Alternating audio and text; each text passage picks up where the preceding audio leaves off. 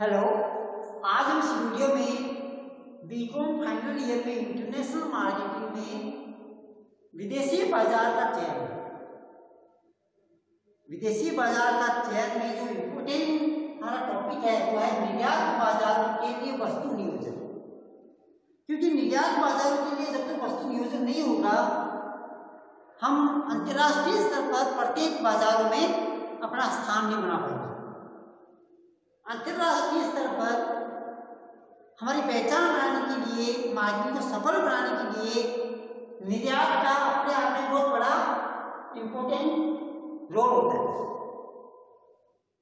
जैसा कि मैंने आपको पहले बताया था EPRG EPRG is a framework ethnocentrism polycentrism regiocentrism और जियोसेंट्रिज्म इसमें मैंने आपको बताया था कि डोमेस्टिक मार्केट में बनने वाली वस्तु को या तो सेम टू सेम अन्य मार्केट में भेज दी जाए। अन्य देशों में भेज दी जाए बिना चेंजेस के। दूसरा मैंने आपको बताया था कि प्रत्येक देश के लिए चेंजेस कर दिए जाए। माना कि पेन है, प्रत्येक देश में बेचना है, प्रत्येक देश के लिए नई स्टाइल जो चीज़ हो जाएगी ऐसा भी हो सकता है?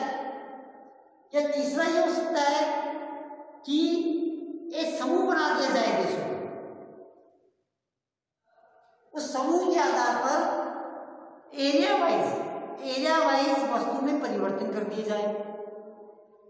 अगर ये भी नहीं होता है, चौथा ऑप्शन हमारे पास था जियो सेंट्रिज्म पूरा विश्व एक ही बाज़ार डोमेस्टिक मार्केट को क्या चाहिए इंटरनेशनल स्तर पे क्या चाहिए इंपॉर्टेंट नहीं है कॉमन क्या चाहिए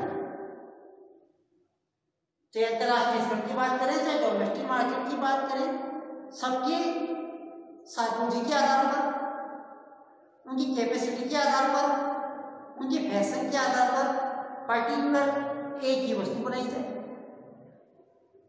उसी को ध्यान में रखते हुए बात कर रहा हूँ मैं आकर निर्यात निर्यात बाजारों में निर्यात बढ़ाने के लिए हम कौन कौन सी टेक्नोलॉजी अपनाएँगे? जैसे कि विद्यमान उत्पादों का सीधा उपयोग।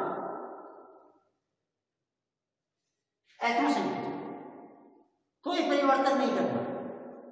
जिस प्रकार से डोमेस्टिक मार्केट में वस्तु बनी हुई है, उसको बिना किसी चेंजेस के साथ अन्य मार्केट में भेज देना। सीधा उपयोग। विद्यमान। जो डोमेस्टिक मार्केट पसंद कर रहा है, वो अन्य देशों में भी जाएगा। दूसरा, वस्तु परिवर्तन। हम वस्तु में चेंजेस कर देंगे पूरा।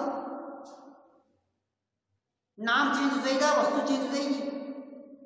स्टाइल पैकेज फ़ैशन क्वालिटी सब चेंज हो जाएँगे। पीआर पीआर पॉलीसेंट्रिज्म और यूसेंट्रिज्म यूज़ हो सकता है यहाँ पर, और यहाँ पर एथोसेंट्रिज्म वस्तु में विपणन संदेश दोनों में परिवर्तन। किस तरह से प्रमोशन करना है? सेल्स प्रमोशन के मेथड, विज्ञापन के मेथड परिवर्तन हो जाएँगे। उनके मैसेज जो है, उनकी सूचनाएँ जो है, सब चेंज हो जाएँगी। वस्तु भी चेंज हो रही है। विपणन की जो पॉलिसी है, वो भी चेंज हो रही है। और जो संदेश दिए जा रहे हैं, वो भी चेंज हो रहे हैं। नवीन वस्तु का निर्माण। जियो सेंट्रिक डोमेस्टिक मार्केट क्या पसंद करता है? अन्य देश क्या पसंद करते हैं? कोई इंपॉर्टेंट नहीं है। सबको ध्यान में रखते हुए नई वस्तु का उत्पादन करना। और उसका निर्यात करना। और लास्ट है, व्यापार विधि का चयन कि आप किस तरह से व्यापार करना चाहेंगे? अपनी यूनिट वहाँ पे स्थापित करनी है फ्रेंचाइजी देनी है तो एजेंट वहाँ पर होगा आपका, या वहाँ की यूनिट आपको स्थापित करनी है, या कॉन्टेक्ट बेस पे करना है, या अन्य मेथड यूज़ कर सकते हैं। टर्न की मेथड भी था, वो भी यूज़ कर सकते हो आप। तो यह मेथड की बात की है। अब बात यह आ रही कि बाज़ार में प्रवेश करने के लिए जो निर्यात की बात हम कर रहे हैं, वो निर्यात कैसे किया जाए? निर्यात इस तरह से किया जाए कि संपूर्ण देशों में मार्केटिंग सफल हो जाए और वस्तु की बिक्री बढ़ जाए। तो निर्यात करने की तरीके जो मैंने आपको बताई है, वो है अपने विद्यमान उत्पाद को सीधा भेज दो, या उसमें परिवर्तन कर दो, उनके मैसेज में परिवर्तन कर दो, वस्तु में चेंजेस कर दो, या उसके मेथड में चेंजेस कर दो। ईपीआरजी मेथड ध्यान में रखना। ईपीआरजी अब बात आ रही है अंतरराष्ट्रीय स्थितिकरण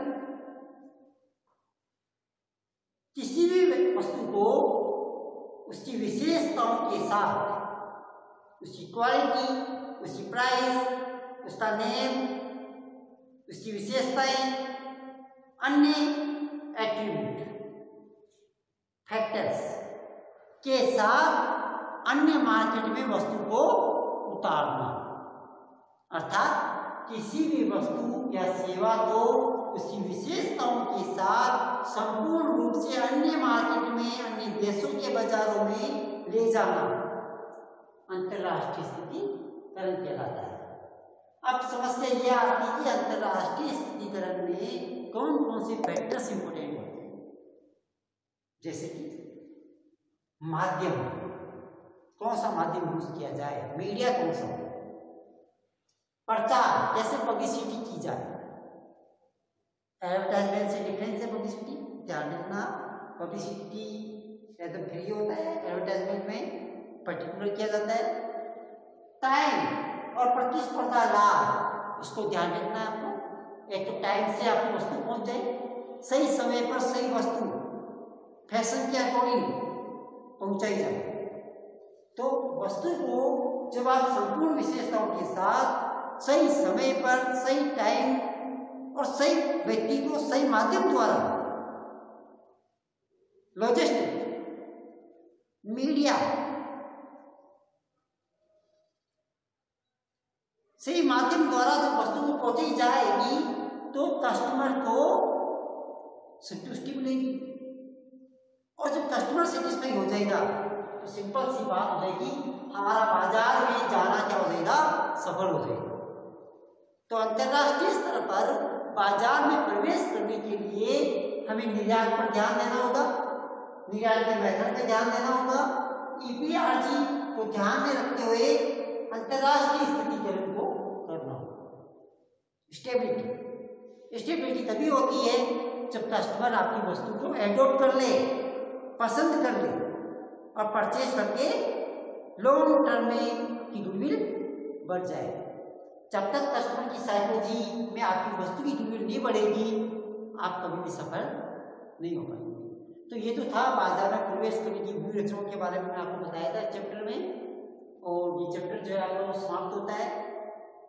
कुछ बातें और भी है, लेकिन मैं आपको यहाँ वीडियो में बताने कहूँगा आप अपनी पुस्तक जो होती है, अपना जो पाठ्य पुस्तक जो है, उसका, उसको ऑब्जर्वेशन ज़रूर करें, पढ़े उसको। और बाकी जो भी समस्या आएगी, हम उसके बारे में बाद में बात करेंगे। Thank you